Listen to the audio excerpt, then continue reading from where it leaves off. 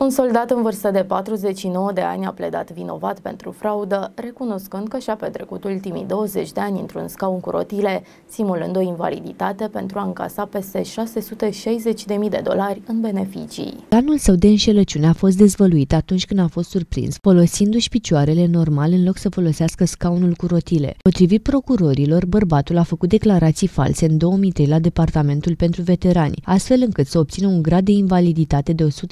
Planul său a început în ianuarie 2003, când a pretins că a rămas imobilizat în urma serviciului militar și a prezentat documente false pentru a testa handicapul său. Pe lângă beneficiile financiare, bărbatul a obținut și fonduri pentru a achiziționa mașini speciale și modificări ale vehiculelor destinate veteranilor cu mobilitate redusă. Între ianuarie 2003 și decembrie 2022, acesta a primit suma totală de 662 de milioane de dolari. Frauda a ieșit la iveală în octombrie 2021, când bărbatul a fost observat folosindu-și scaunul cu rotile doar pentru a se ridica și a merge normal într-un centru comercial și la spital. Același comportament a fost observat și în octombrie 2022. Mai multe persoane care îl cunoscuseră de la începutul anilor 2000 au confirmat că nu l-au văzut niciodată având nevoie de un scaun cu rotile sau de orice alt tip de asistență pentru mers. Confruntat de polițiști, bărbatul a recunoscut că nu are probleme la picioare și că a simulat invaliditatea pentru a încasa beneficiile. Data la care va fi condamnat a fost stabilită pentru 6 mai 2024, iar fostul soldat riscă o pedepsă de până la 5 ani de închisoare și 3 ani de eliberare supravegheată. În plus, îi se poate ordona să returneze suma integrală de bani pe care a primit-o în mod fraudulos de-a lungul anilor, relatează mesajul.ro.